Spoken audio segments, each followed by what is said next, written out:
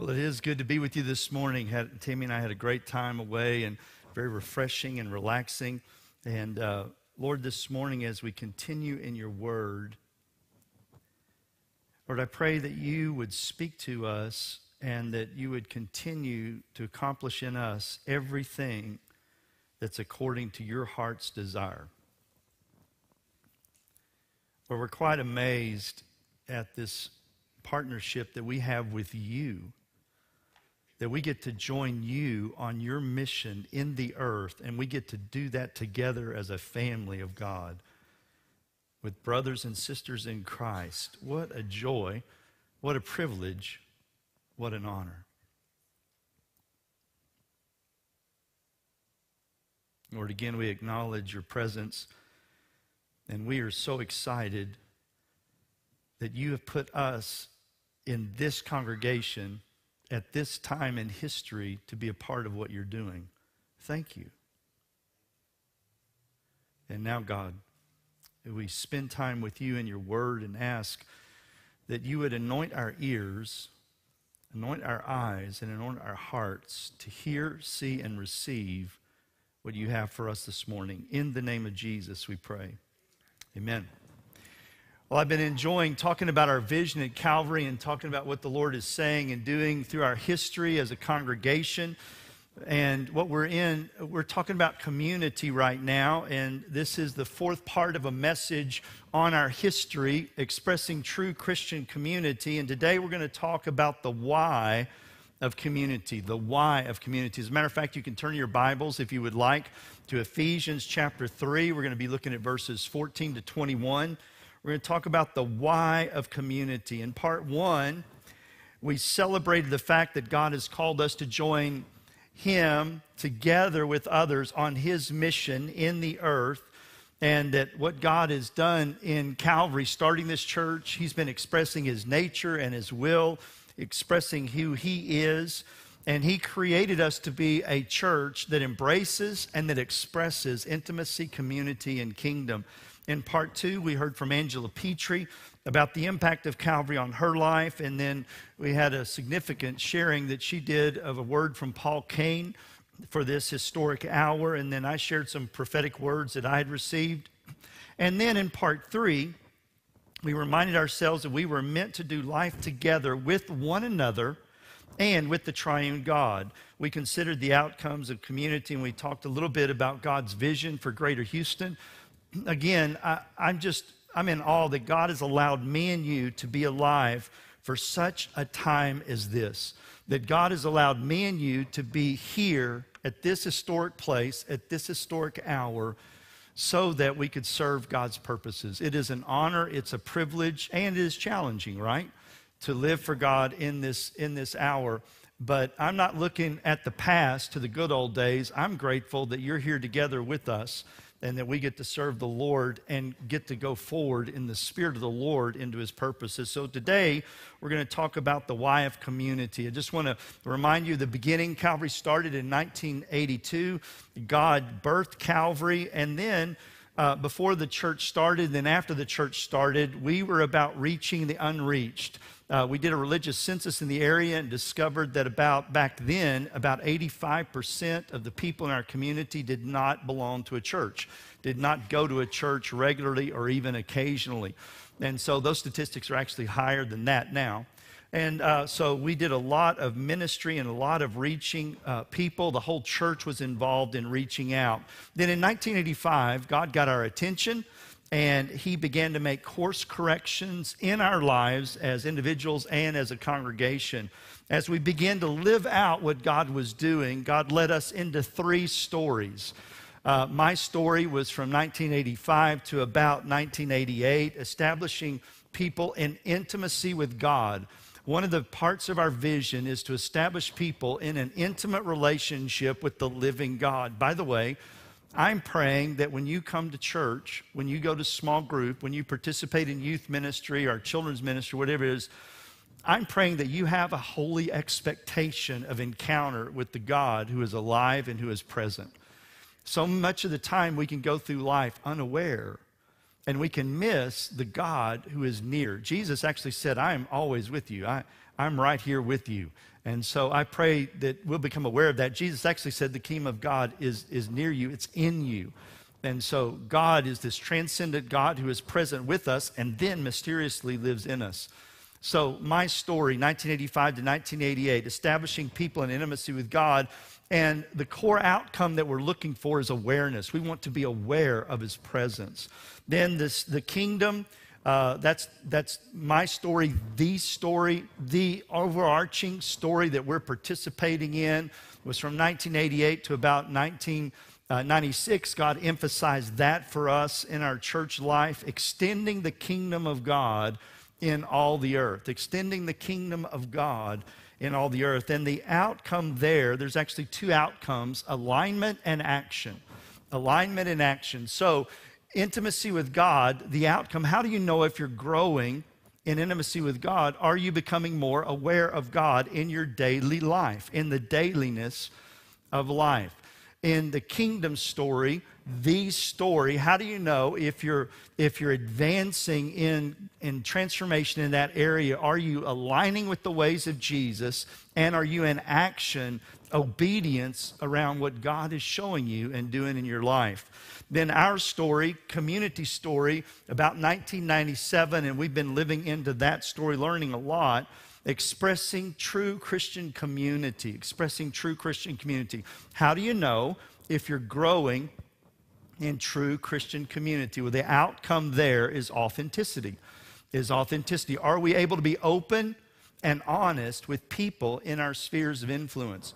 Uh, y'all know networking is an assignment from the Lord that I have uh, locally and globally.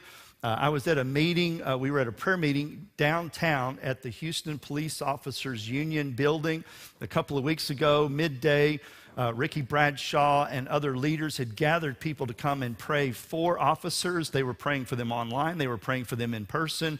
And then while we were waiting, we were praying for revival and for spiritual awakening for Houston, Texas, greater Houston area. And uh, sitting in our small group, one of the young men there uh, looked at me and, and, and began to, to get stirred in, in, the prophetic and began to share some things. And he said, um, he said, Hey, I just, I want to encourage you. Uh, uh just get prayer from people. Uh, I don't know if you ever have the chance to get prayer from people, but I want you to know I think God wants me to emphasize that for you. Do you ever get prayer from people?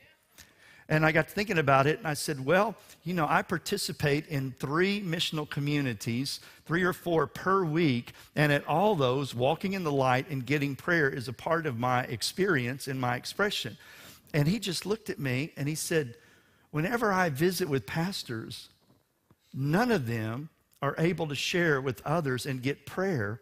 They never get to do that.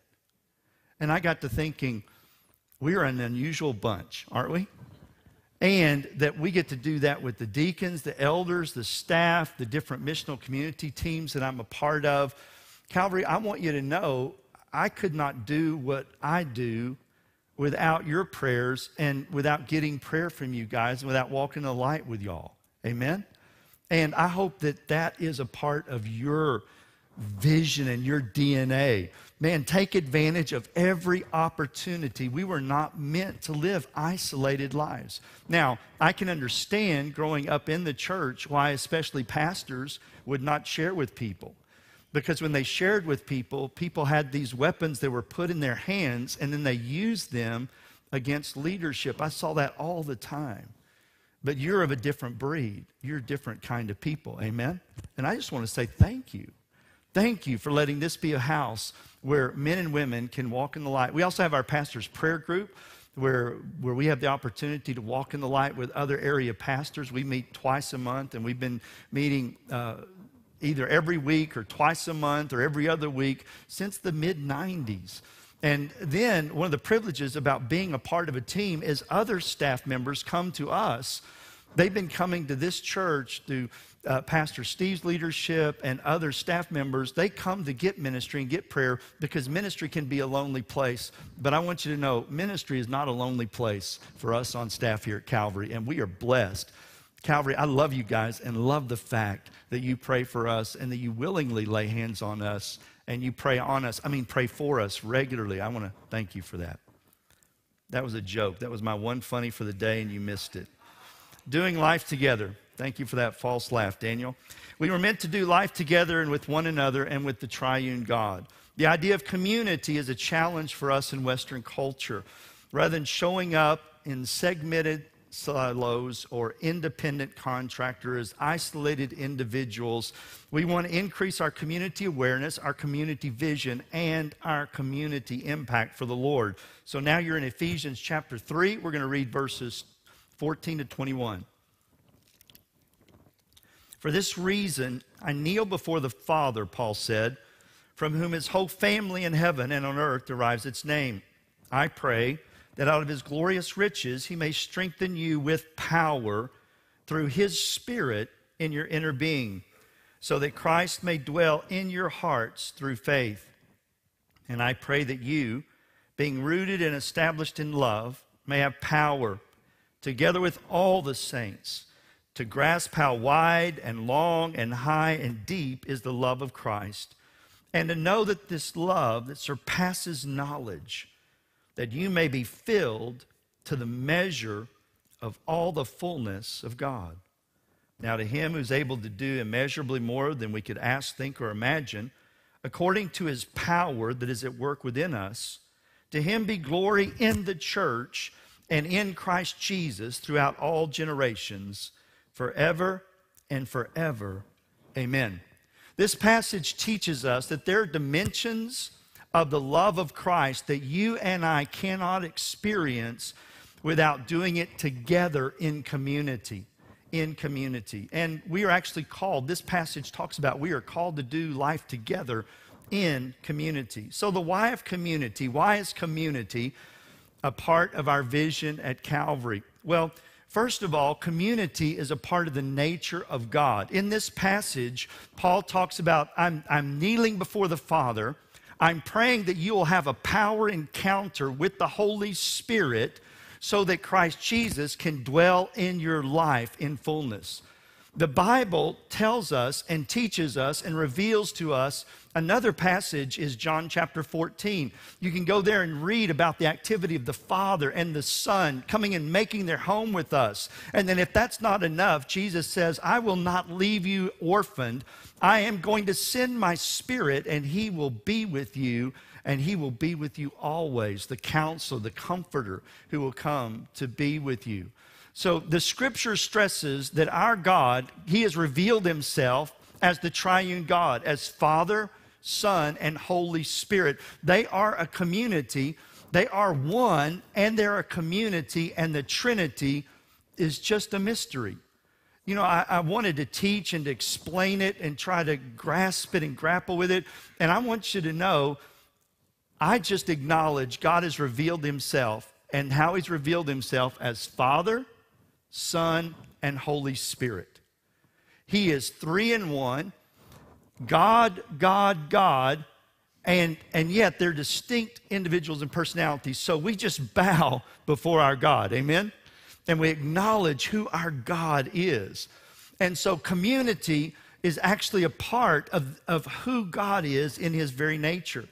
And then we were made to connect very deeply with the Lord and with other people. Belonging. Belonging is just a deep human need. As a matter of fact, many people are writing about and talking about today the tribes.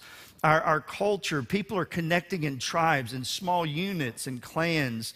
It's just a deep human need. In Genesis 2:18, the Lord said, "It is not good for man to be alone. I'll make a helper suitable for him." This is a deep innate need is that we were created for community. We were created for partnership with others belonging, and then interdependence. Turn in your Bibles to 1 Corinthians chapter 12, verse 12 to 27. The, the reality is, we have a description here of how much we need each other and that we can't do this thing alone without one another.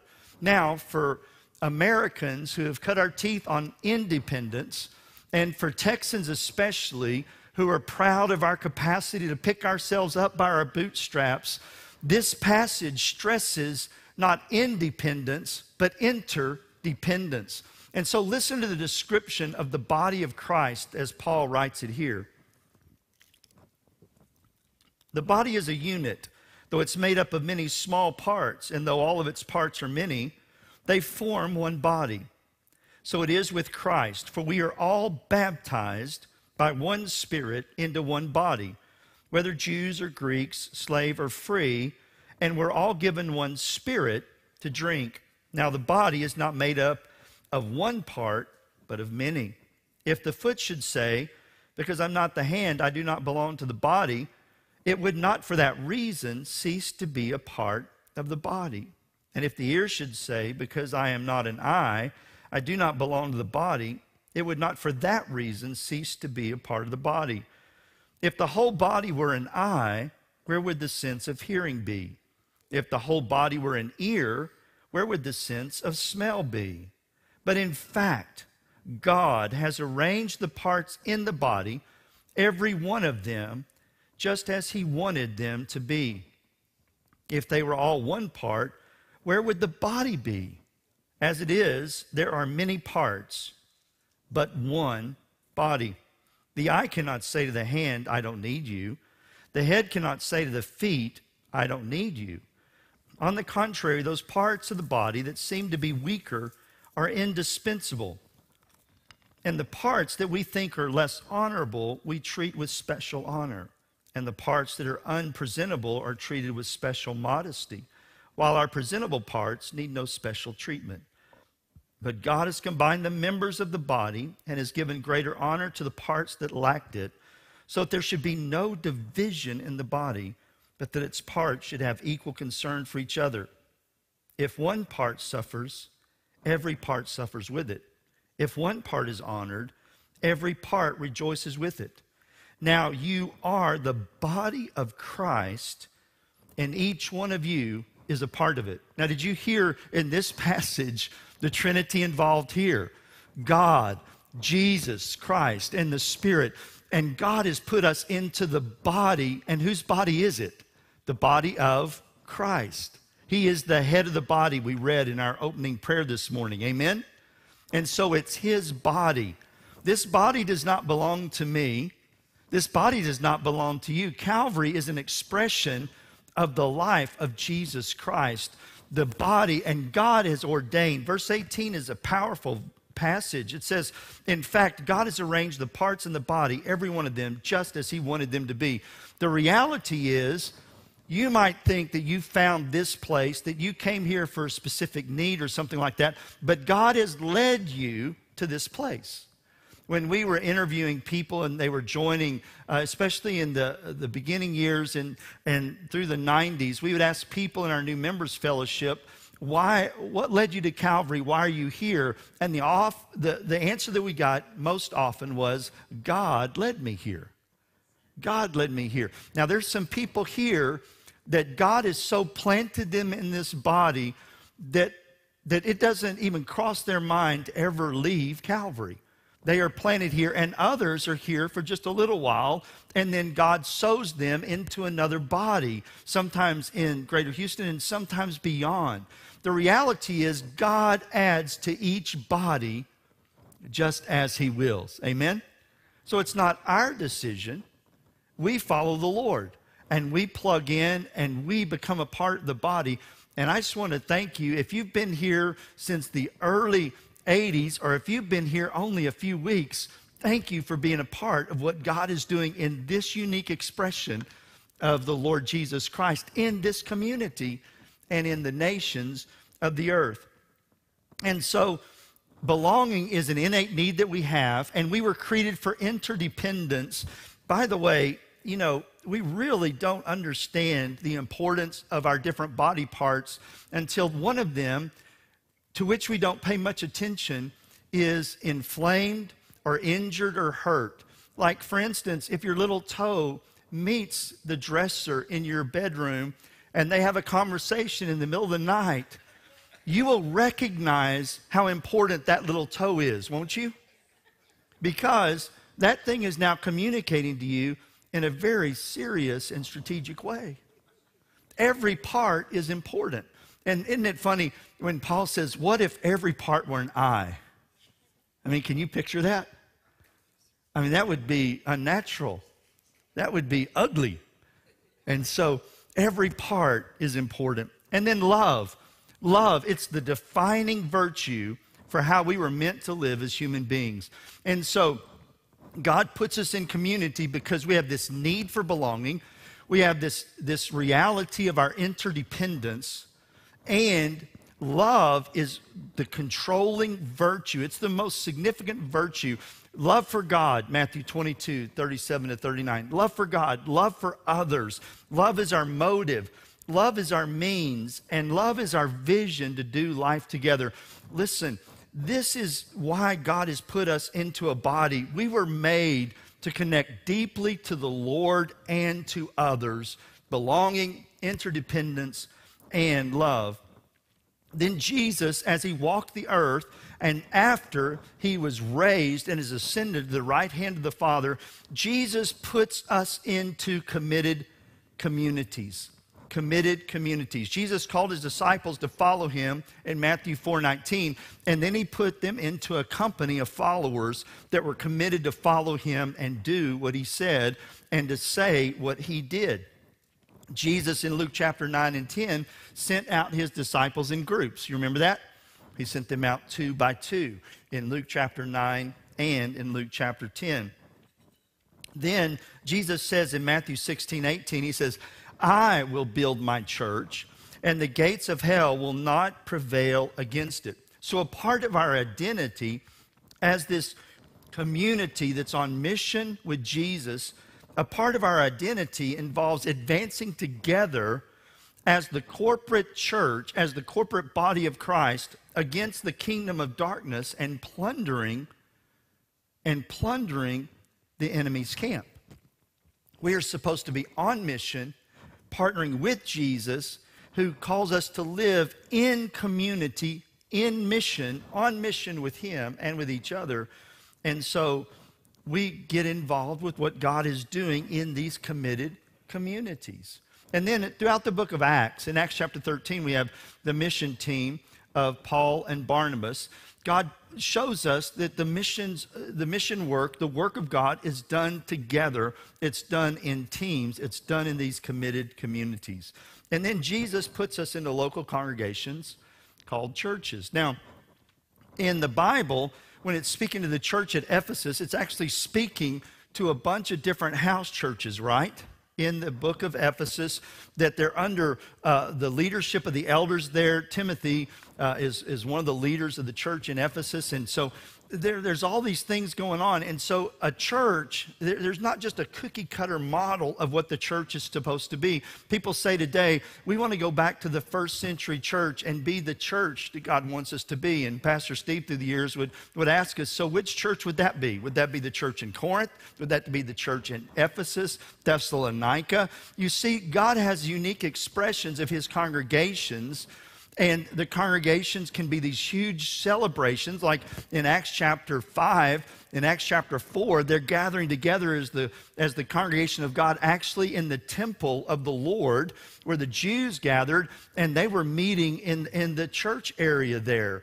They were meeting in that temple. And so there are large gatherings, there, there are intimate corporate gatherings. The church meets as God gives its assignment. And there today, Houston, Texas has the greatest number of megachurches of any city in, in our nation. It's amazing what God is doing here. And that's not big enough. Did you know there's a church in Nigeria that holds a million people? That's a big place. That's really big. And so there are churches of all sizes. One of the pastors in our pastor's prayer group. They're, they're planting hip hop churches among the younger generation and, and planting these churches among the street kids. Isn't that awesome, that vision? God, again, sees our need for belonging, interdependence, and to be the people or channels of God's love as our, as our motivation, as our vision, as our ministry. And then God puts us in these congregations, and every congregation has a unique calling unique assignments, unique giftings that God wants to do to express Himself in the earth.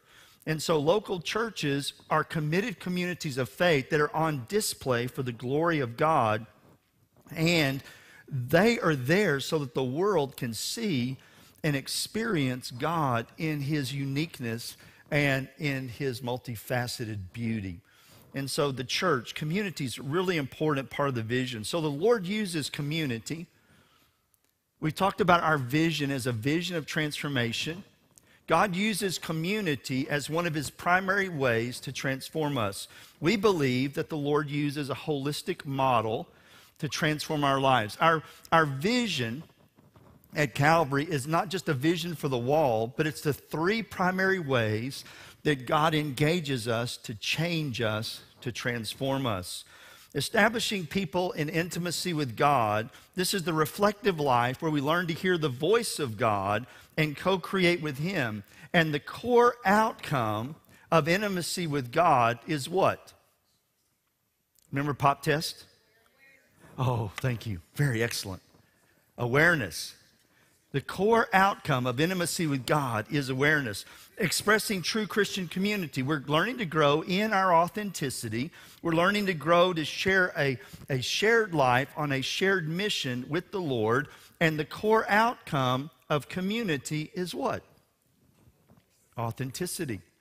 And then extending the kingdom of God in the earth. This is where we grow in radical obedience, in partnering with the Lord on his mission we live missionally in community, and we live not as isolated individuals, but in partnership with the Lord and with one another. And the core outcomes of this part of our vision, the core outcomes of kingdom, are what? Alignment and this is just exciting. Don't you just feel that? Experiencing true Christian community is a place where we have a shared vision, a shared life together, and it's one of the primary tools that God uses to change us. God uses he uses community to transform your life. 1 John 1 7. If we walk in the light, as he is in the light, then we have fellowship with one another, and the blood of Jesus changes us. You can't be changed in isolation.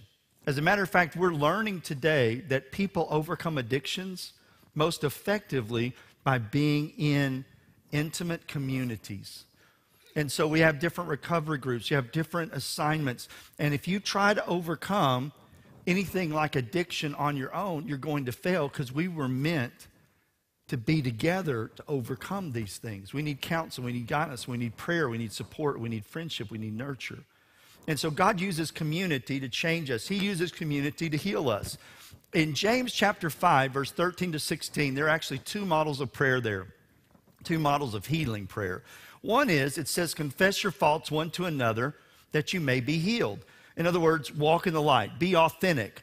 Walk there and, and, share with people what you need prayer for. And then it also says, so you can be physically healed or emotionally healed or spiritually healed, whatever you need. It also says you can call on the elders to anoint you with oil and their prayer can result in healing. So there's two models of healing prayer, transformational prayer there.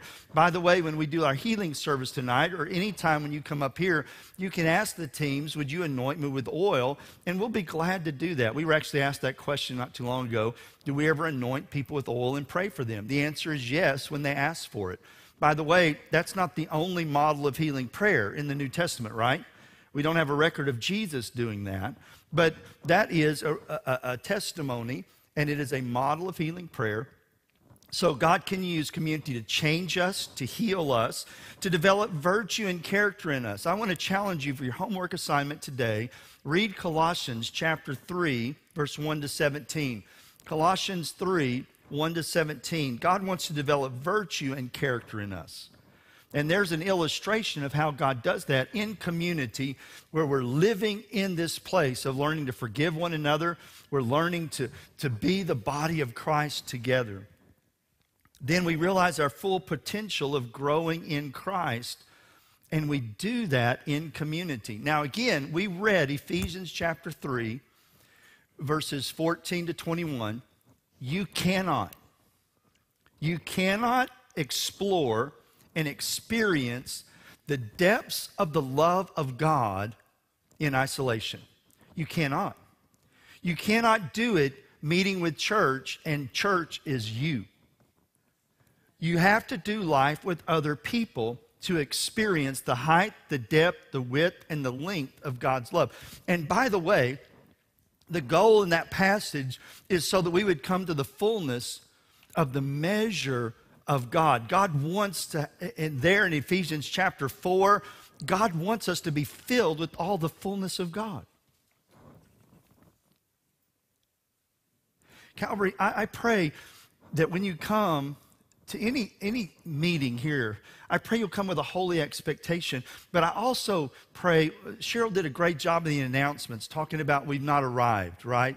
We, we keep learning, we keep growing until you are filled to the full measure of the stature of Jesus Christ, until Ephesians 3, you have the fullness of God in you in a tangible, expressional way, I want to challenge you, there's still more room to grow. Amen? And so, this idea that we're just going to gather for a lecture, we're just going to listen to some messages, we're going to sing some songs, I want to challenge that as a really low bar. The bar is to become like Christ. The bar is Jesus emptied himself so that he could be filled with everything that God had for him. And then Jesus, the Christ, ascends and gives us the Spirit of Christ so that we can live just like he lived. He showed us how humans were supposed to live. And until we've come to the full measure of Christ, we've got a little growth area. And so, Calvary, let's raise our expectations. Today, I wasn't as, as angry as I was yesterday. That's progress. Amen? Isn't it? Today, I learned to love a little bit more because God put somebody who was really unlovable in my path. And I got to practice. I didn't do so good today, but I'm to get to practice tomorrow, right? You know, I had a chance to ask people for prayer, but you know, I was I was too scared of being open and honest. I was afraid they'd judge me, so I didn't share with anybody. But you have another opportunity at the end of the service here, or at any time, you can grab some, well, not while I'm preaching, but you can grab somebody and say, hey, would you pray for me? Amen? He wants to teach us how to stand up and fight. In Psalm 110, verse 3, the scripture says, In your day of battle, your troops, not your individual troop, but your troops will be willing. God wants to raise us up to be a mighty army, and God wants us to be this army that's moving forward together, that's advancing, that's serving God's purposes together. In 2 Timothy chapter 2 verse 4 it talks about no soldier gets so entangled in the everyday affairs of life that, that he's no longer able to please his, his commanding officer. We, we want to learn how to be people who, who know how to stand and fight. And again, in Ephesians chapter 6, verse 10 to 18, it says we don't wrestle against flesh and blood. Our enemy is not flesh and blood. Our enemy is the principalities, the powers, the world forces of darkness. It's the spiritual forces of wickedness that are empowering and authorizing things. By the way, our human adversaries, the Bible teaches us, Jesus said to love our enemies, right? And so, does he does he say, well, if they're not of your political party? Or does he say, if they don't drive like you? Or if they don't, if they don't look like you?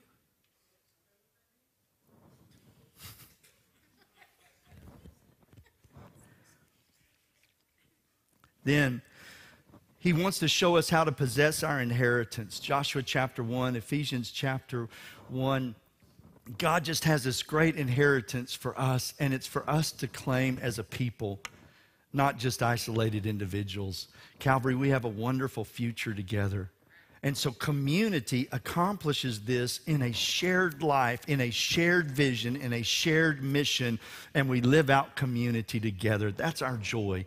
That's our privilege. And I want to thank you for being a part of the journey. And I want to invite us to be a people who understand that we were meant to do life together and with our triune God.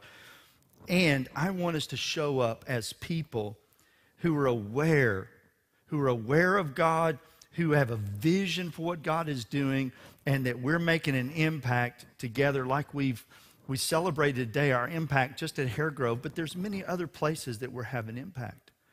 And so Thank you for being a part of this vision. Thank you for being a part of this journey together in this committed community. Amen. Let's stand.